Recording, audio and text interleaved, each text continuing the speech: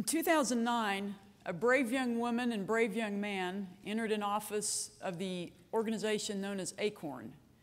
Here is the award winning story that unfolded.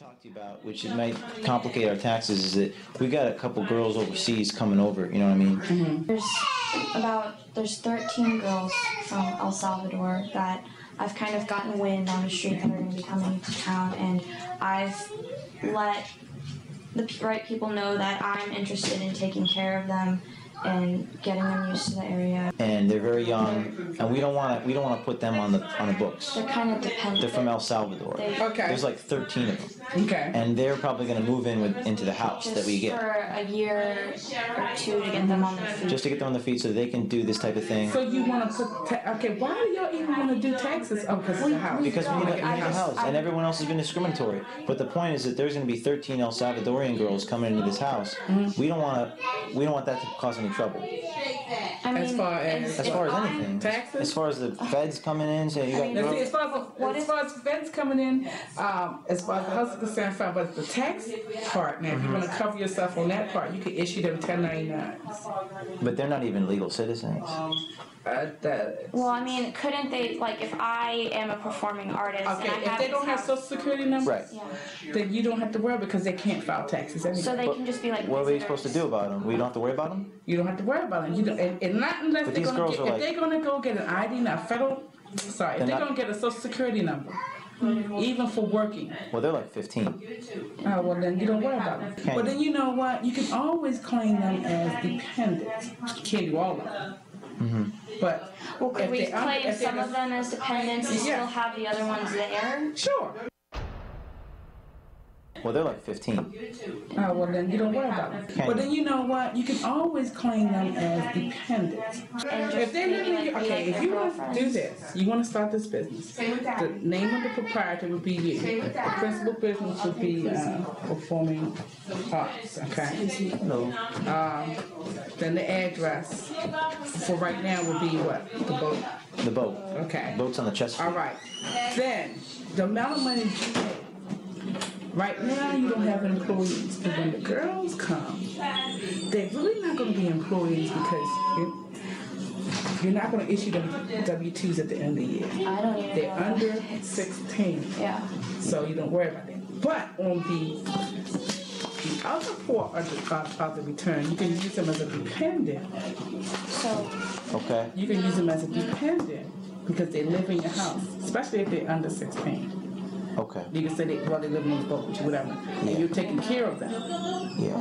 So you can use them as a dependent. What if they're making money because they're performing They will tricks too? If they're making money and they're underage, you shouldn't be letting nobody know anyway. What? true. You shouldn't be letting anyone know anyway. Well, that's When what I that's what happens. We tell the bankers and they when- kick us out. Right, because was- they, when because was- it's yeah. illegal. They're really not gonna be employees because you you're not gonna issue them W twos at the end of the year. I don't even They're know. under sixteen. Yeah. so you don't worry about that. But on the the other part of the, of, of the return, you can use them as a dependent. So Okay. You can use them as a dependent. If they don't know, you know what I'm saying, what you bringing in or whatever going on, if nobody's telling it, then they won't know to come I look mean, for it's it. it's.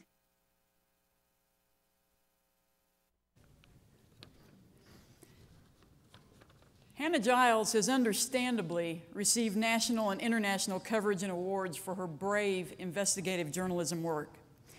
She and her husband, Joseph Basel, launched the American Phoenix Foundation, a nonprofit organization based in Austin, Texas, with the mission to protect the American Republic through ethical, innovative, and technologically driven journalism. Please note that this afternoon, following our, the conclusion of our conference, Hannah will be hosting a free seminar for aspiring investigative journalists or those who simply want to learn more about this important work. That will be in another room here in the Grand. It's the, I believe, the Saddle Creek, Saddle, it's Saddle something. Sorry, I don't have the name right. Uh, here in the hotel, but that, that is a free uh, seminar at 2:30 this afternoon. Let's give a rousing steamboat welcome for one courageous young woman, Hannah Giles.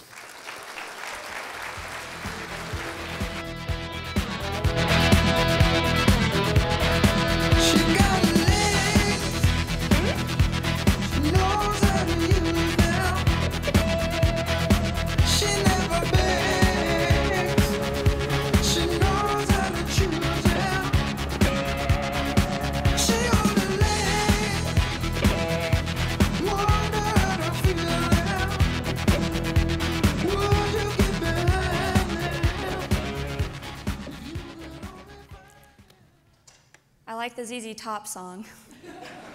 um, when I was 12 years old, my dad took me backstage to go meet ZZ Top. I didn't know who that was. I was 12. I liked the music. Um, we're backstage. It was really exciting. And then my sister and I saw these homeless guys eating the food backstage. I'm like, why are there homeless men backstage? This isn't special if homeless men are allowed back here. Well, it was ZZ Top. And And they're pretty nice guys, but anyway, can y'all believe what you just saw on the videos?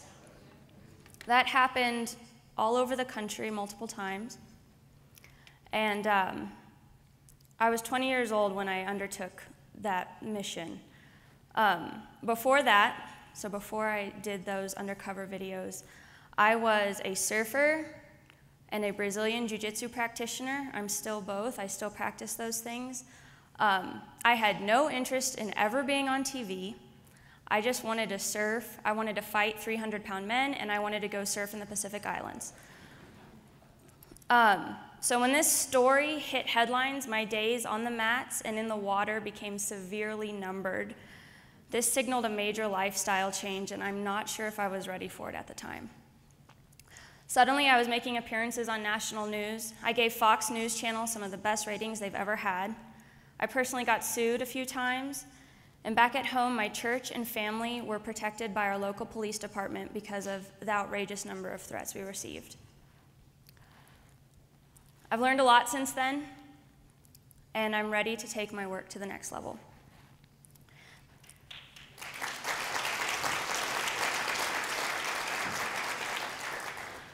Two major changes happened in my life since those videos were released. I got married to a Christian man who understands my calling, and I founded the American Phoenix Foundation to facilitate more stories like my Acorn investigation and to equip hundreds like me to do the same. One thing about my husband Joe, and you guys can look at this because he's in the back, but in his red, wedding ring, it's a big silver one, I had a saying inscribed in Latin, and it translates to justice even though the heavens fall. And this means that even though everything around us is failing, we must stand for justice. If we do so, our society and our families will be better for it. We, as advocates for liberty, are playing a game of chess. Our problem is we are playing with half the pieces. We are losing the narrative war every single day. When we lose the narrative war, we lose our culture and we lose the political realm. This results in unchecked corruption and rampant moral failure. The media used to expose these things, exposing corruption, challenging authority. But now the establishment media has become part of that corrupt power structure. Journalism schools in America destroy the courage and creativity of justice seeking young people and replace it with a desire to join the power structure rather than speaking truth to power. We must be in the minds, or be in the business of reaching hearts and minds. This is very different than our modern 50 50 politics. As you all know, most issues are not 50 50. And it's the media creating an impression that there is a split right down the middle of the country and that we have to fight for that middle 1%. These efforts do not and have not moved the ball forward. We must go over the heads of the media, jump over that imaginary 50 50 line, and show America the truth. We have to disrupt false narratives. So let's look at my Acorn investigation. Why did it work? Everyone talks about it and it was like a scandal, but no one, I don't think anyone really understands why, why it worked. So for too long, Acorn got away with the story that they were helping poor people. Never mind Acorn's leaders, since the beginning of the organization, Acorn's leaders were directly robbing the people that they claimed to help. Never mind they had been investigated so many times for frauds, especially voter fraud and their involvement in the mortgage crisis. But the moment my videos came out, showing Acorn all too willing and able to help facilitate underage prostitution, the U.S. legislative bodies voted overwhelmingly to defund them. The Census Bureau severed ties with them, and their private investors, that's very important, their private investors distanced themselves from the group. The evidence was clear and undeniable, shedding light on over 30 years of corrupt practices. Was it efficient? We all know that some movement practices aren't necessarily efficient. So let's take a look at my project. Obama sent, spent over $700 million winning the 2008 election, and McCain spent over $300 million losing the 2008 election. Between James and I, we spent less than $1,500 making our Acorn videos. Considering Obama's ties with the group, I think it is arguable that if we had done those videos in the fall of 2008 rather than the fall of 2009, we would have had an entirely different president.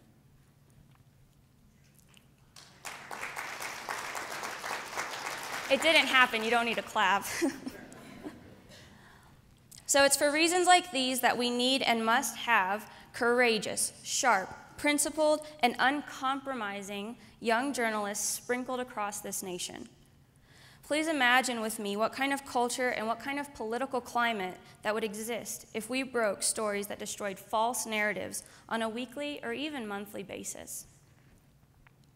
It will be on the backs of hardworking and disciplined young men and women that this capacity will be developed. We need the help, encouragement, and support so that this never becomes just a job or a chore or a way of us grasping for power. Frankly, a free society needs real journalism to hold the powerful accountable. Um, there's a, my husband and I met undercover in Boston, and um, we, we didn't really like each other at first. But we were stuck together, and we ended up at the airport in Boston, gonna go on separate flights.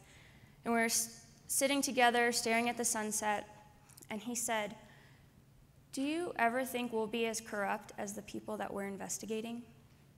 And I said, Yes, absolutely, if we don't train up other people to hold us accountable.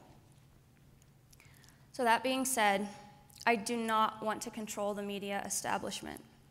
I think that given that power, even us here in this room would fall prey to our human nature. This would in turn do no good for the American people and perpetuate their apathy towards our media. Our highest use right now is strategically placed reporters and initiatives to hold our leaders and our media accountable. Accountability is what we seek, courage is what we need, and content is what we must deliver. I don't think Colorado needs 30 more websites. It would be amazing if all of you guys could work together, hunker down to expose false narratives. Let's get a show of hands. How many of you, with the biggest story of your life, how many of you, given your acorn, would give it away, would remove your byline, if it meant reaching more people and doing more good? There's a little honesty in here.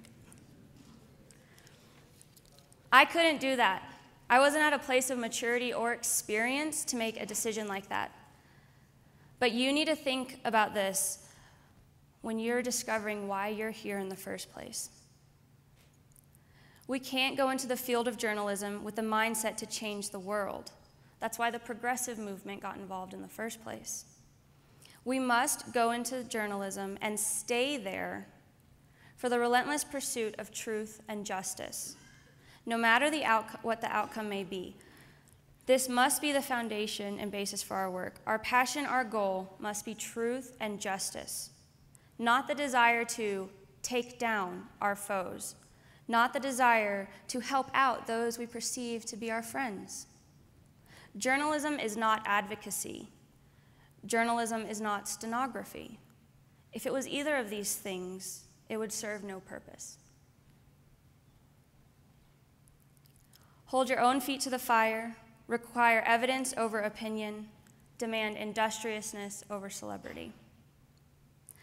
My team is devoted to learning, working, and teaching as if America's future was on the line.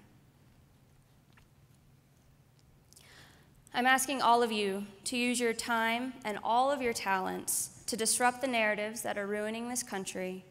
And I'm asking you to join me as I start my life's work of narrative disruption in the pursuit of justice.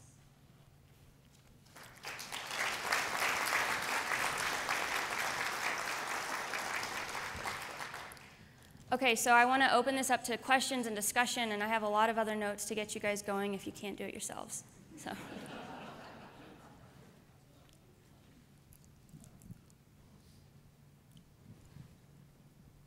Hannah, I don't really have a question for you, but I do have a quote from former U.S.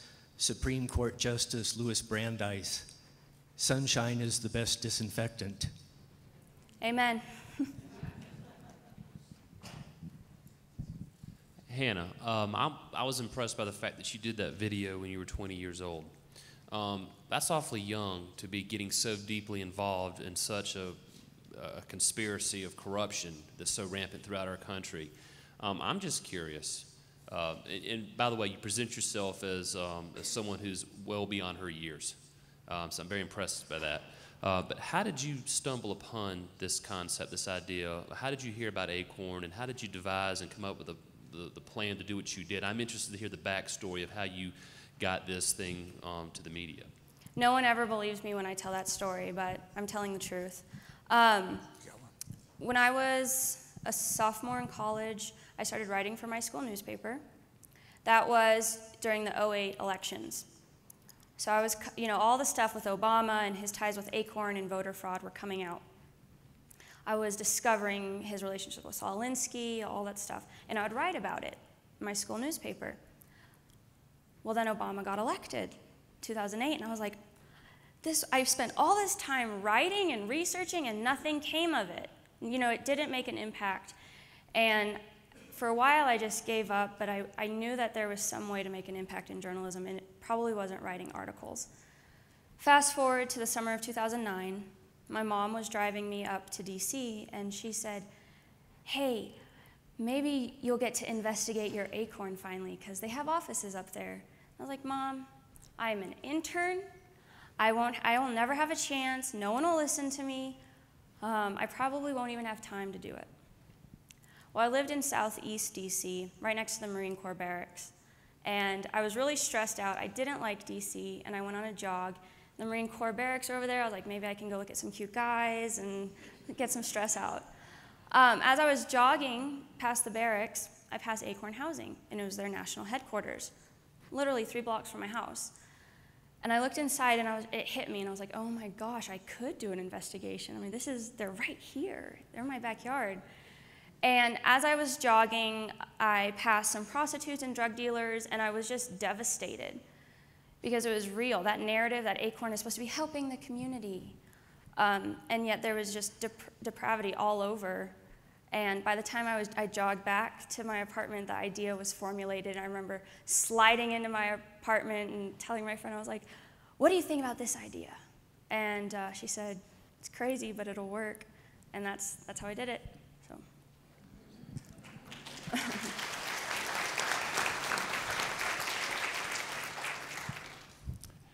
wow. the strategy that you're coming up with here, it just seems so powerful. And uh, I'm quite impressed with your idea. And um, it seems like what we're up against, and I was talking with somebody yesterday, talking about the other side uses kind of the idea that the end justifies the means, and they'll use whatever means that they need, including lying or whatever. And it's, it's kind of scary, but uh, I think you understand um, that. And I think it's good for all of us um, to be aware of it too. And that, I mean, we heard also yesterday about we need to have the wisdom to know what is right and the courage to do what is right. Mm-hmm. And it's a whole different way of thinking. And so I just thank you. I look forward to seeing what you're up to in the future. Um, you, you know, even if you don't believe in ends justify the means, you have to understand that. You have to know the way the media is working right now. And, and it's, it's devastating. And I've become extremely cynical, and I'm only 23 years old. But you have to, under, you have to really understand how they operate. And my husband and I, we've, we've helped other people that are about to go through a media cycle or they've come out with a big story. And, and when we're coaching them, we say, you know, it's no holds barred. You know, this is what they're going to do. And they're like, oh, no. Because, you know, because their, their story is true. They're like, it's the truth. It'll be okay. It'll, it'll prevail. But you have a force, you have a system, you have the media establishment and all of her friends working very hard to hide those truths and to keep them in the dark corners.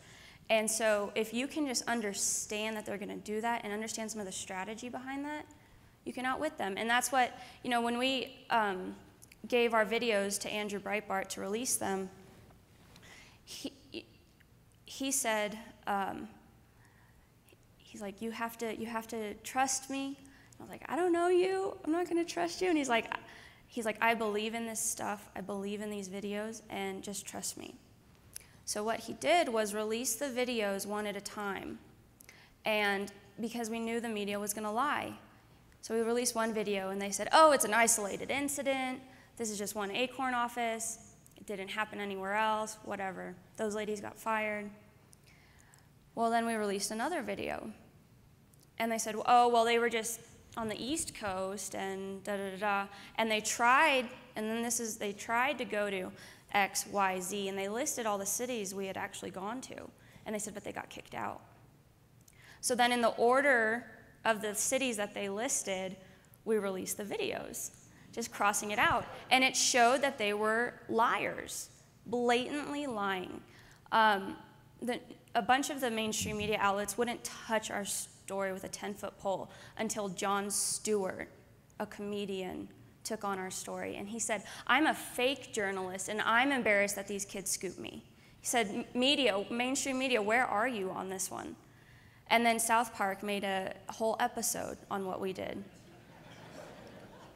And so just understanding like they're gonna lie, they're gonna be mean. But then also, how's the best way to get a message across? Comedy.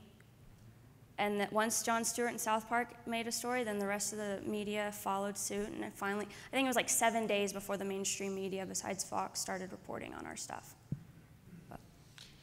Hannah, Hannah, excuse me, congratulations as well on what you've done. Uh, far more than most of us old timers have ever been able to do in the years we've been given and the opportunities in front of us. Uh, you worked with James O'Keefe, correct? Yes, um, I did. Yeah, um, and, uh, and, kudos to, to both of you then. You, you've done something far better than, than what historically we in politics we always put under the umbrella of opposition research. And the left, le, the left took that to an art form, not just finding out, gee, what did he pay his taxes, did he not, what jobs did he have, where did he go to school, uh, see if there's anything under the, under the carpet behind the, the curtain. Uh, but you've, you've really exposed the truth here. The left has used their opposition research typically to try to uh, destroy individuals. You've just exposed the truth. I remember when, uh, when uh, I think it was came out of New Mexico, the, the first uh, investigation into the phony jobs creation claims from the stimulus funding from the Obama administration. And when they looked there, they quickly looked in other states, and we found out that, uh, I guess, documented what many of us already thought that they were wasting hundreds of billions of dollars.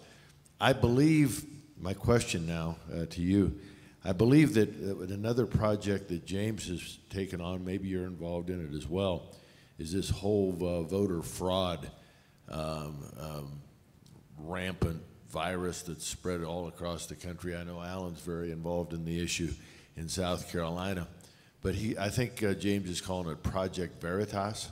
Yes, that's his. And, and can you speak to that a little bit and what he's uncovered and found, and maybe a little bit more about your American Phoenix Foundation and what you hope to get done there, and how maybe the rest of us can help? Um, you know, I don't. I, I've watched the videos just like everyone else, so I don't know the ins and outs and details besides what is out in the mainstream. Um, it's.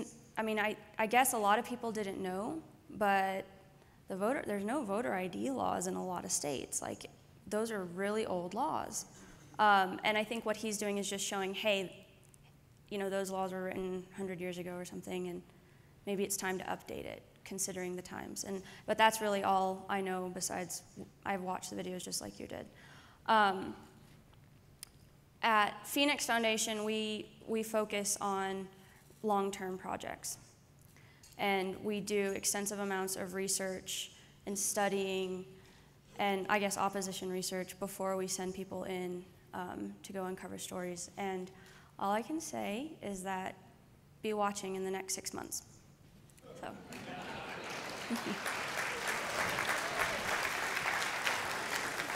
and I think with the with voter the voter fraud issue, um, it's it's systematic, all over the country. It's happening, but it's it's not.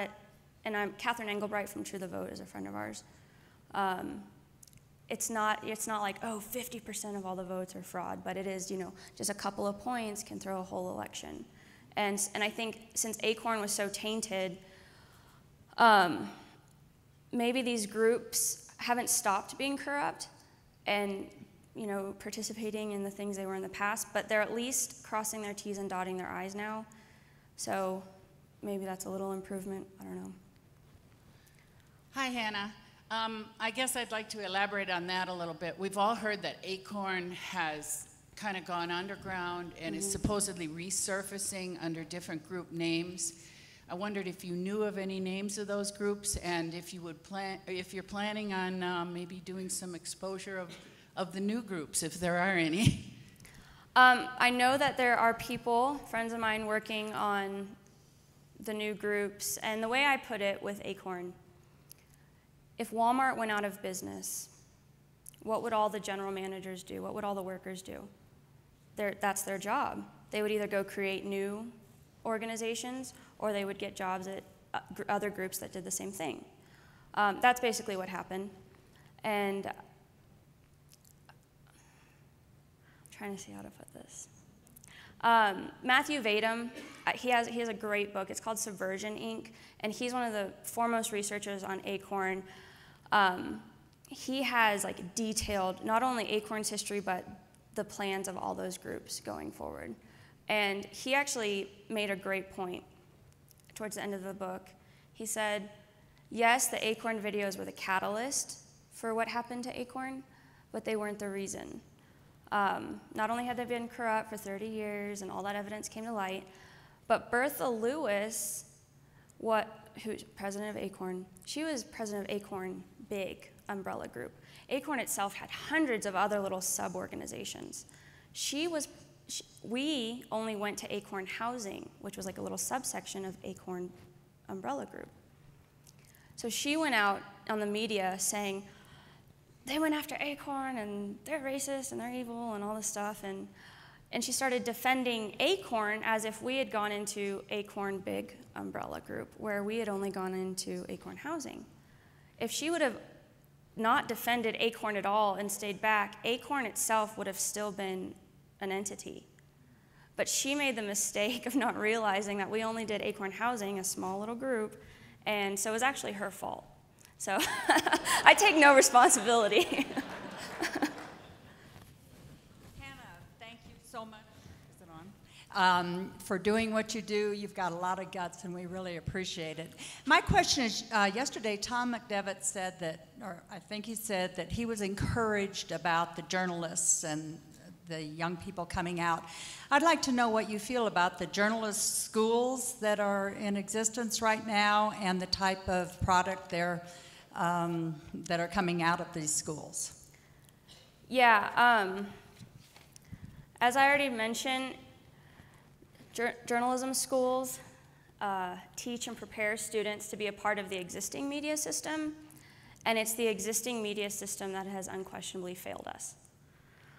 Um, I sincerely believe that students that go into the field of journalism, like bright eyed and bushy tailed, ready to save the world somehow, I, I believe they come in with that type of innocence and that kind of courage. Um, by the end of it, and I was in journalism school and programs, and a lot of my staff was on in journalism schools as well. It's literally okay.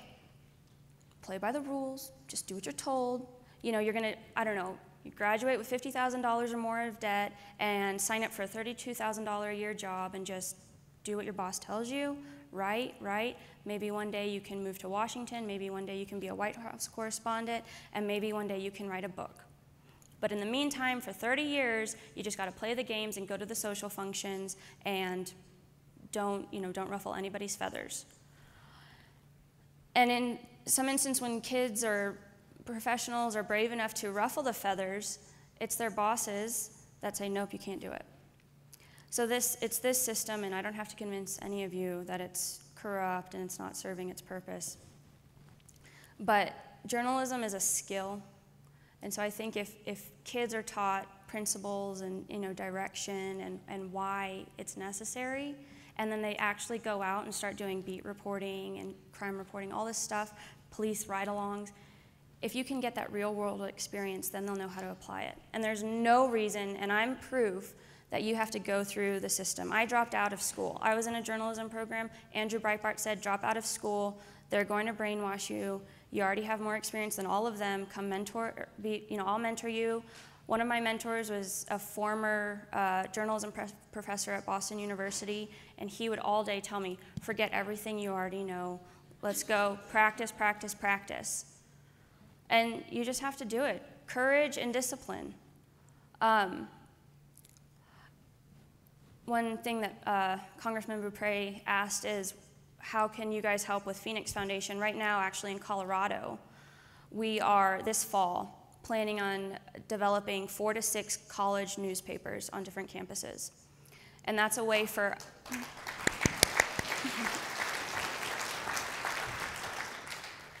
that's a way for us to get in there and get in touch with these kids. And even if they are going to go through school, we can at least be developing them and working on their principles and stuff for when they do go into the marketplace. But what else?